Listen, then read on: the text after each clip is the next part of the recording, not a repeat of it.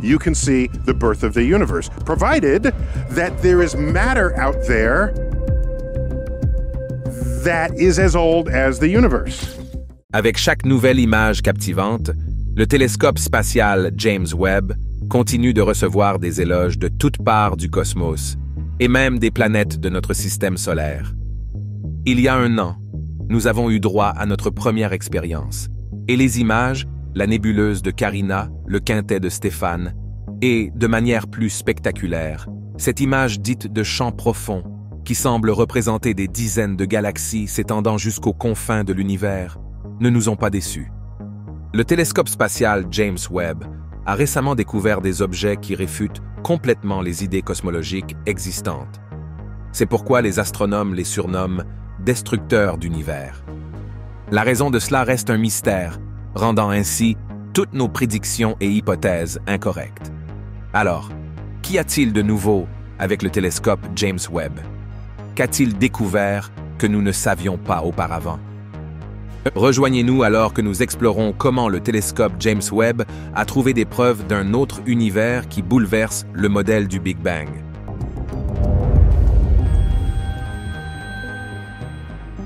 Nous vivons dans un univers qui s'est formé à partir d'un passé plus chaud, plus dense et plus uniforme. Cette théorie, connue sous le nom de Big Bang Show, a été l'une des réalisations scientifiques les plus significatives des 100 dernières années.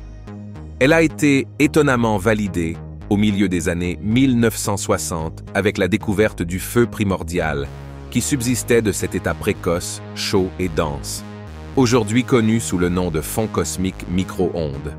Cela a été initialement suggéré comme une alternative sérieuse à certaines des explications plus conventionnelles de l'expansion de l'univers.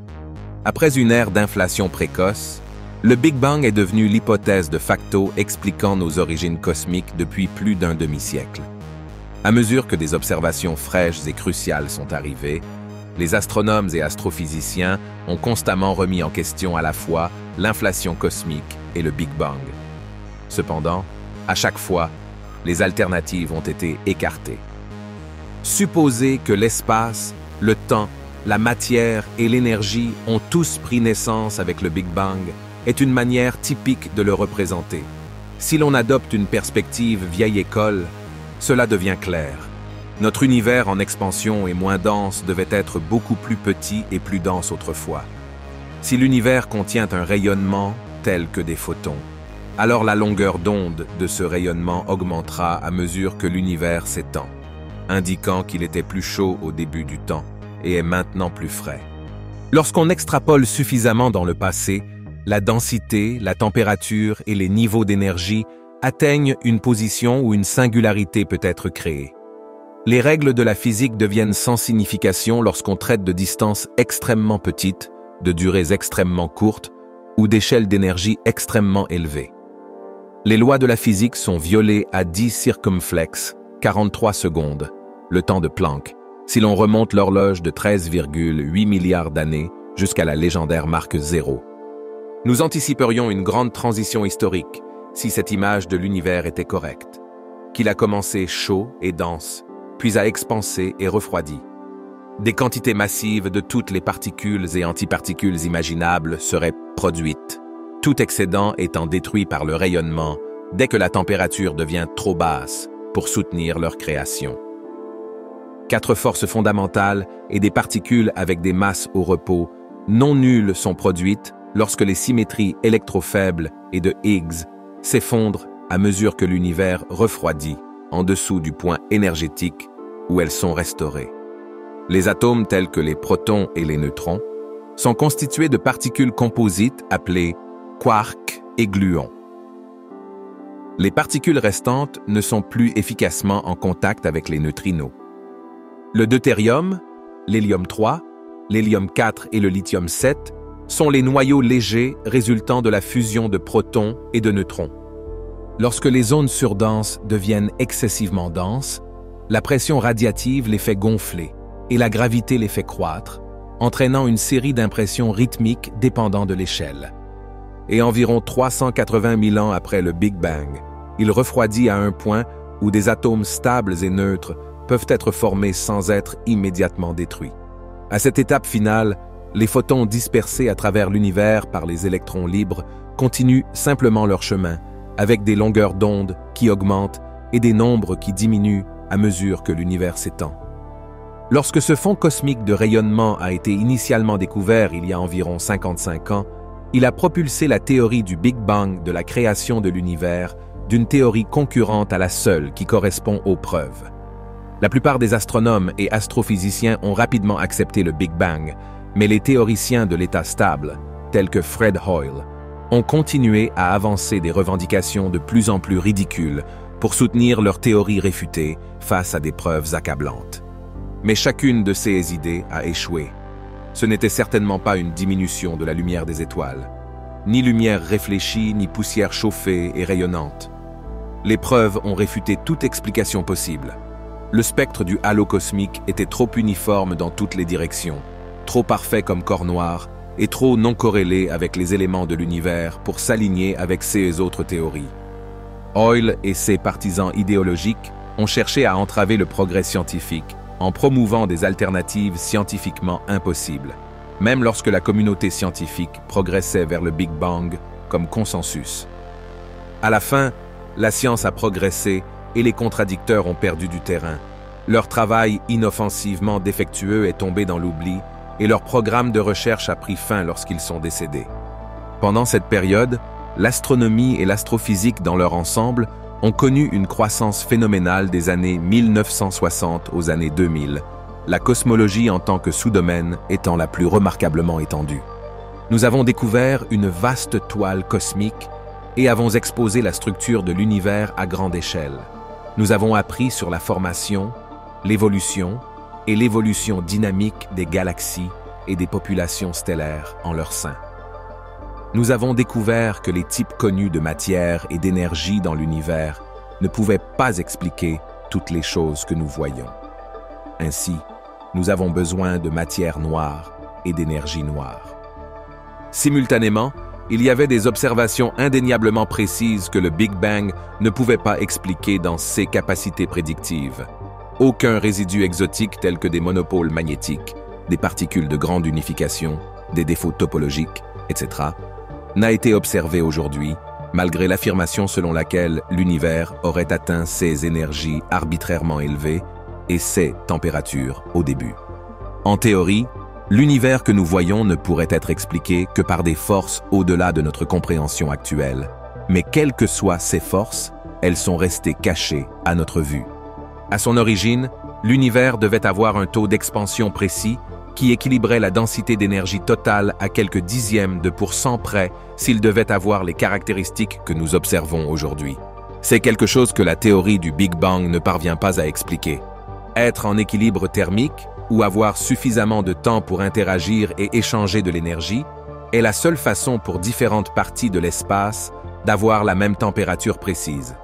Cependant, il y a beaucoup de zones qui ne sont pas causalement liées les unes aux autres, car l'univers est trop grand et agrandi. Ce échange n'aurait pas été possible même si la lumière se déplaçait à sa vitesse maximale. C'est un énorme problème pour la communauté scientifique et la cosmologie en particulier. Lorsque les théories scientifiques échouent à expliquer un phénomène particulier, deux voies s'offrent à nous. Nous pouvons essayer de trouver un mécanisme théorique qui rend compte de ces occurrences en nous appuyant sur les réalisations de la théorie précédente, mais en produisant également de nouvelles prédictions différentes de celles de la théorie précédente. Sinon, nous pourrions penser que tout est tel qu'il semble être, et que l'univers est simplement venu à l'existence avec les caractéristiques qui le rendent tel qu'il est aujourd'hui. Même si la première stratégie ne fonctionne pas, cela vaut la peine d'essayer car seule la première a un mérite scientifique. L'inflation cosmique a été le cadre théorique le plus efficace pour postuler un Big Bang allongé. Ce cadre suppose une étape antérieure d'expansion exponentielle de l'univers, pendant laquelle il était aplati, doté de propriétés uniformes partout, s'étendait à un taux proportionnel à sa densité d'énergie, débarrassé de tout vestige d'événements à haute énergie, et prévoyait l'émergence de fluctuations quantiques qui provoqueraient un type unique de fluctuation de densité et de température par-dessus un univers par ailleurs continu. Beaucoup de gens n'aimaient pas l'inflation, mais elle fonctionnait quand tout le reste échouait, tout comme le Big Bang. Elle trouve une solution au problème de la sortie gracieuse, c'est-à-dire comment un univers qui croît à un taux exponentiel peut changer en un qui s'étend à un taux conforme à nos observations, c'est-à-dire comment il peut recréer toutes les réalisations du Big Bang initial. Elle détruit tout vestige d'énergie extrêmement élevé en imposant une coupure d'énergie. Ainsi, le taux d'expansion et la densité d'énergie totale sont parfaitement équilibrés et l'univers devient assez uniforme. De plus, elle prédit de manière novatrice quel type de structure devrait se former et quelles sortes de variations initiales de température et de densité devraient se manifester, et ces prédictions ont été confirmées par des observations. Les prévisions pour l'inflation ont été principalement élaborées dans les années 1980, mais les données observationnelles qui les soutenaient sont arrivées au cours des 30 dernières années. Il existe de nombreuses alternatives, mais aucune d'entre elles ne fonctionne aussi bien que l'inflation. Malgré le fait que le travail du lauréat du prix Nobel Roger Penrose sur la relativité générale, les trous noirs et les singularités dans les années 60 et 70 étaient véritablement dignes du Nobel, il a consacré beaucoup de temps et d'énergie ces dernières années à une croisade pour discréditer l'inflation, préconisant une cosmologie cyclique conforme qui est intrinsèquement défectueuse d'un point de vue scientifique. La dissimilitude principale dans les prévisions réside dans le fait que la cosmologie cyclique conforme mandate essentiellement la présence de vestiges de l'univers avant le Big Bang dans le fond diffus cosmologique et la structure à grande échelle de l'univers. En revanche, l'inflation dicte que le point où l'inflation se termine et qu'un Big Bang chaud se produit doit être causalement séparé et incapable d'interagir avec une telle région dans le passé, le présent ou le futur. Chaque partie de notre cosmos a son propre ensemble unique de caractéristiques. Par conséquent, nous devons faire confiance à l'univers pour nous révéler ce qui est vrai et ce qui n'est qu'une théorie, et nous devons suivre la guidance de l'univers, peu importe ce qu'il dit. Bien qu'ils fussent émerveillés, les astronomes ont rapidement réalisé qu'il y avait quelque chose de mal avec les photographies du télescope spatial James Webb, des planètes et des nébuleuses qu'il a commencé à transmettre depuis l'espace en 2022. Il semble maintenant, plusieurs mois plus tard, que nous devrons peut-être réévaluer des aspects importants du début et de l'évolution de l'univers, en partie sur la base de CE que le télescope a montré. La découverte de galaxies complètement formées beaucoup plus tôt que CE qui auraient pu être concevables selon le modèle standard de la cosmologie a été l'une des premières grandes découvertes du télescope spatial Webb, mais elle était excitante de manière déconcertante. Il existe une séquence fixe et précise d'événements qui ont eu lieu après le Big Bang, selon le modèle standard, qui est la base de presque toutes les recherches dans le domaine. Premièrement, des étoiles et des trous noirs se sont formés lorsque des régions plus denses du gaz cosmique refroidissant ont été attirées ensemble par la gravité. Deuxièmement, des galaxies se sont formées lorsque des étoiles ont été attirées ensemble par la gravité. En revanche, les données de Webb ont montré que certaines galaxies massives se sont formées beaucoup trop rapidement, en trop peu de temps, du moins selon les estimations du modèle conventionnel. Cette disparité était significative, similaire à la manière dont les grands-parents pourraient apparaître dans un roman alors qu'ils sont encore enfants, cette découverte implique des parents et leurs enfants.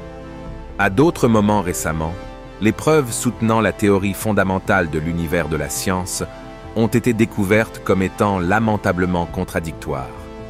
Considérez la question du taux d'expansion du cosmos.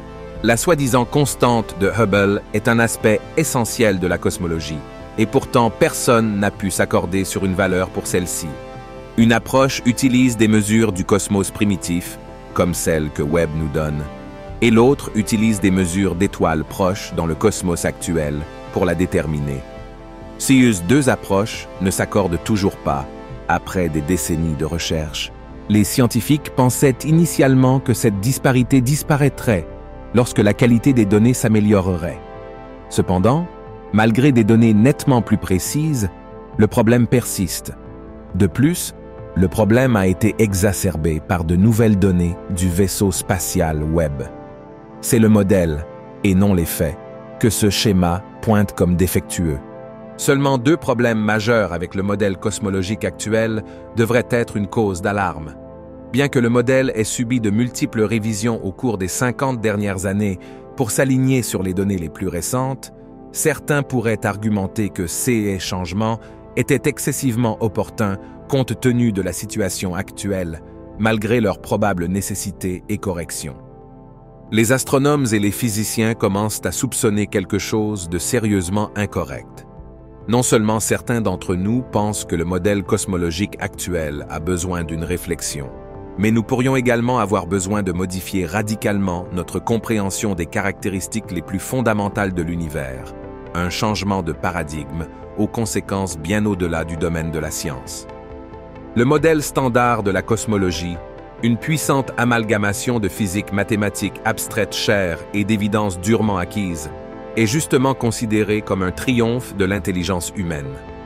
Tout a commencé avec la première preuve du Big Bang, trouvée par Edwin Hubble dans les années 1920, que le cosmos était en expansion.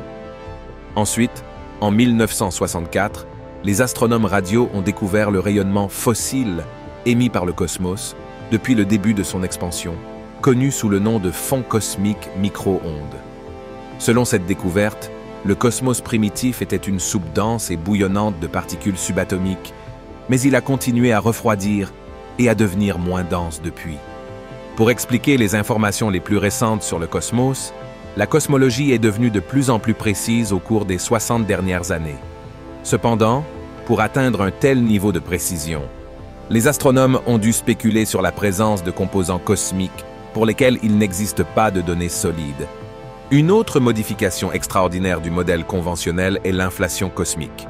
Elle a été proposée en 1981 comme solution aux contradictions d'une hypothèse antérieure du Big Bang. Selon cette théorie, le cosmos primitif a connu une croissance exponentielle pendant un bref moment après le Big Bang.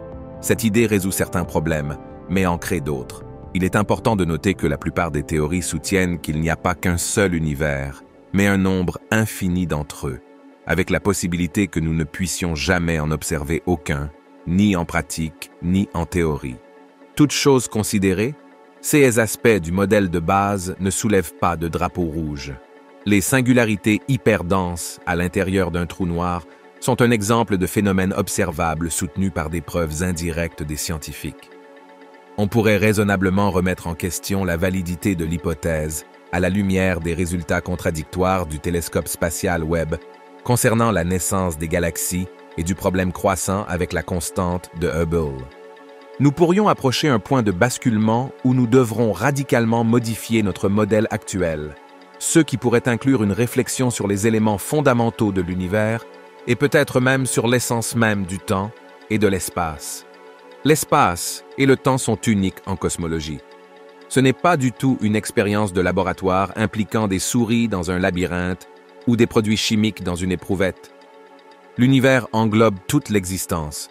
Il est singulier et inaccessible d'un point de vue externe. Il ne peut pas être soumis à des essais contrôlés en le plaçant dans un contenant sur une table. La cosmologie est tellement globale qu'elle pousse les scientifiques à explorer des questions fondamentales sur l'univers et leur place en son sein, telles que les origines du temps et de l'espace, les règles de la sélection naturelle, et la fonction de l'observateur. La plupart des domaines scientifiques ordinaires évitent de discuter de sujets aussi délicats. Cependant, l'étude de la conscience et la physique quantique abordent des sujets sinistres comparables. En raison de la nature délicate du travail de la cosmologie à la croisée de la philosophie et de la science, le domaine est hanté par le spectre d'hypothèses fondamentales qui se cachent dans les outils que nous utilisons telle que l'idée que les lois scientifiques restent constantes tout au long de l'histoire. Mais si nous voulons savoir quel est le problème avec le mode conventionnel, nous devons peut-être commencer à douter de telles hypothèses. L'idée que les principes physiques peuvent se développer et changer au fil du temps a été avancée par le philosophe Roberto Mangabeira Unger et le physicien Lee Smolin. Il peut y avoir une course pour voir quelle loi est plus efficace. L'idée encore plus extravagante avancée par le physicien John Wheeler est que chaque observation affecte le futur du cosmos et même son histoire passée. Il est, pour le moins que l'on puisse dire, difficile de voir immédiatement comment une telle révision radicale de nos pratiques scientifiques pourrait éclairer les faits cosmologiques déconcertants.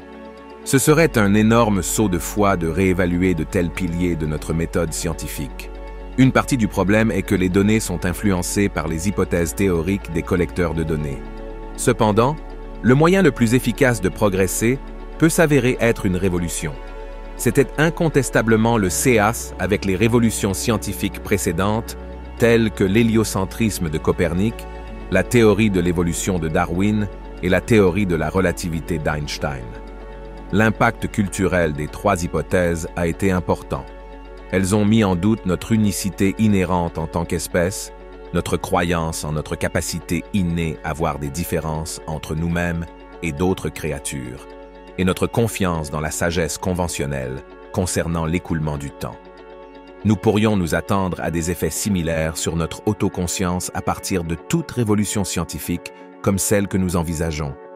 La philosophie, selon le philosophe Robert Crease, est nécessaire lorsque des investigations scientifiques supplémentaires pourraient ne pas fournir de réponses satisfaisantes à un sujet scientifique. Si cela est nécessaire pour résoudre le problème cosmologique, cela reste à débattre. D'autre part, si un ajustement plus fin ne fonctionne pas, nous pourrions devoir imaginer une toute nouvelle histoire de l'univers et une toute nouvelle manière de la communiquer. À la lumière des découvertes du GWST, la plupart des experts du domaine conviennent que notre compréhension actuelle de la formation des galaxies devra très probablement changer. Cependant, sera-t-il un petit ajustement ou un changement majeur?